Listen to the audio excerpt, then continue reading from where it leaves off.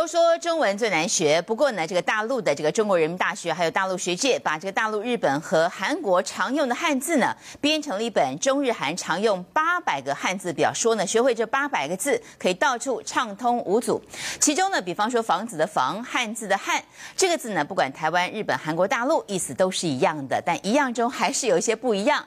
比方说走这个字，我们知道它什么意思，就是行动、走的意思，但在日本、在韩国，它是逃跑的意思，也就是说搞错了会闹笑话的。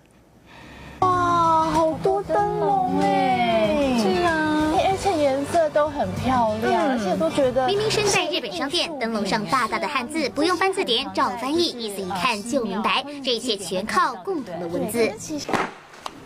由中国人民大学领军，把大陆、日本和韩国常用基础汉字表，历时三年完成中日韩八百汉字表。从一开始罗列八百个字，现在扩充到八百零八个字，宣称学会它们就能玩遍台日韩。每一次然后看到那个歌舞伎町，那大家都会认嘛，因为呢它就是汉字，那它其实意思也是跟中文其实是差不多的，那它就是属于比较娱乐啊、声色的一些场所。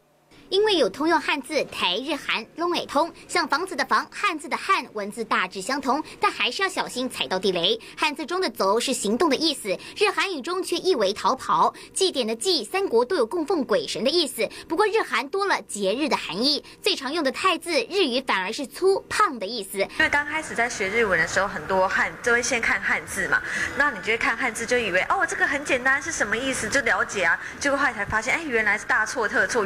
虽说。只靠这八百个字就能勇闯台日韩，有点夸张。不过有共同的汉字，少了陌生感，彼此交流当然能够事倍功半。记者陈佳明，声于台北报道。